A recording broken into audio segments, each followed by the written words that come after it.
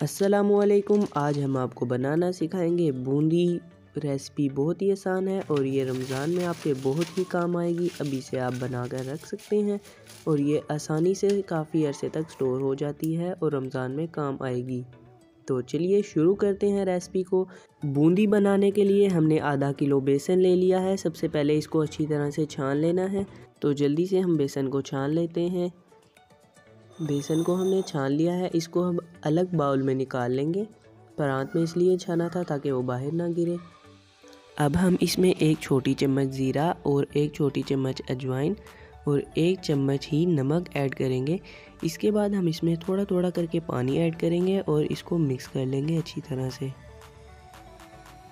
इसको बिल्कुल गाढ़ा गाढ़ा नहीं रखना है, इसको थोड़ा सा पतला करना है, लेकिन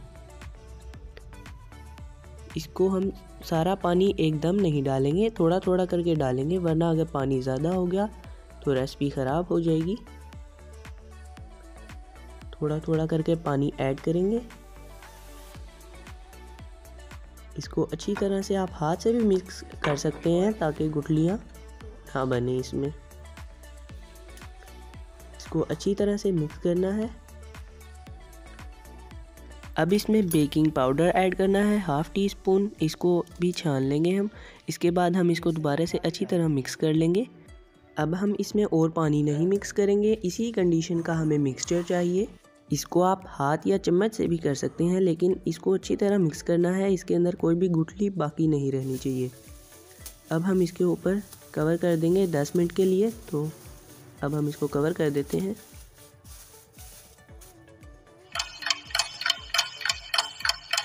दस मिनट यहाँ पर हो चुके हैं, अब हम इसका कवर उतार लेंगे। लो फ्लेम पर हमने ऑयल को गर्म कर लिया है और अब हम इसमें स्टैंड की मदद से ये डाल देंगे। चम्मच से हम आहिस्ता आहिस्ता इसको डुबाएँगे और ये नीचे बहुत ही अच्छी बूंदियाँ बन जाएँगी।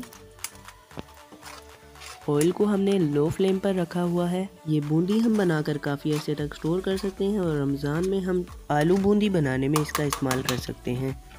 अब इसको हम लो फ्लेम पर ही रखेंगे।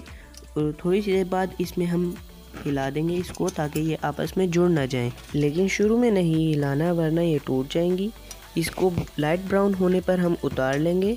ज़्यादा इसको नहीं जलाना है। और ये बात आपने याद रखनी है कि इसको हम लो फ्लेम पर पका रहे हैं। अगर हाई फ्लेम पर पकाएँगे तो ये जल जाएगी और बहुत ही गंदा टेस्ट आएगा इसका। तो हम इसको लो फ्लेम पर गोल्डन होने तक पका लेंगे। बहुत ही अच्छी बूंदी तैयार हुई है। तो यहाँ पर हम दूसरे तरीके की बूंदी बना रहे हैं, जो कि मोटी बूंदी होती है और जो पहले वाली हमने बनाई थी, वो थी पतली बूंदी। तो ये जो है, हम हाथ से डालेंगे। इससे मोटी मोटी बूंदियाँ बनेंगी। आप चाहें तो छोटे क्यूब्स भी डाल सकते हैं। अगर आपको वीडियो अच्छी लग रही है तो वीडियो को लाइक कर दें और चैनल को सब्सक्राइब कर दें ताकि आने वाली हर वीडियो आप जल्दी से जल्दी देख सकें। इसी तरह हम सारे बूंदियाँ डाल देंगे और ये जल्दी पक जाएँगी क्योंकि पहले से ऑयल प्री हीट हुआ हुआ है। क्योंकि हम आहिस्ता आहिस्ता डाल रहे हैं पुरानी बूंदियाँ जो पहले की डली हुई हैं, वो पकती जा रही हैं। इसको हम हल्का सा हिलाएँगे। और ये जल्दी ही पक गई हैं तो हम इनको निकाल लेंगे। ये बहुत ही खस्ता और अच्छी हमारी बूंदियाँ तैयार हुई हैं। ये बहुत ही अच्छी हैं। आप इनको ज़िपर बैग में पैक करके काफ़ी अर्से तक स्टोर कर सकते हैं और किसी एयर टाइट जार में भी डाल सकते हैं। अल्लाह हाफिज़।